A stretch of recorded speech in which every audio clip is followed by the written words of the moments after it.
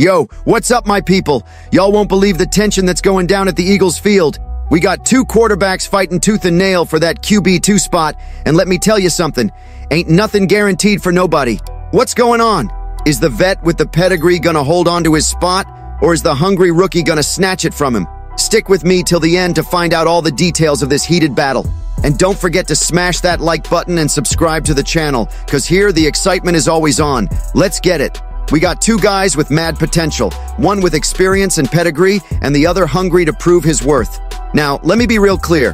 One of them has a slight edge, but the rumors don't lie, folks. The QB2 throne ain't safe.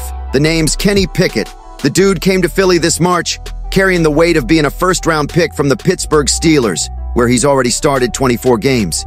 Pickett's in the eye of the storm, going head-to-head -head with Tanner McKee, a young gun looking to prove he can be the next big QB for the Eagles. And Pickett's got to bring his A game this preseason to hold on to that spot, or he might see McKee leapfrog him. Kellen Moore was straight up saying both of them are doing an incredible job, but I'm going to tell you what's really going down.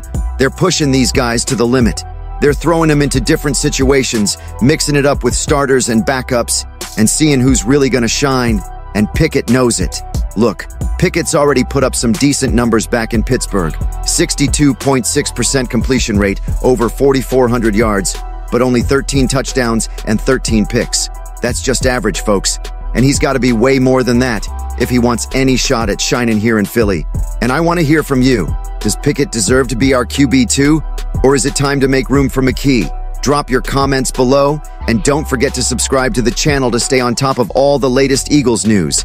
This is the moment of truth, and you don't want to miss a thing. If you're as hyped about the Eagles as I am, hit that like button and ring the bell, and cause here, we don't let anyone rest. Go Eagles!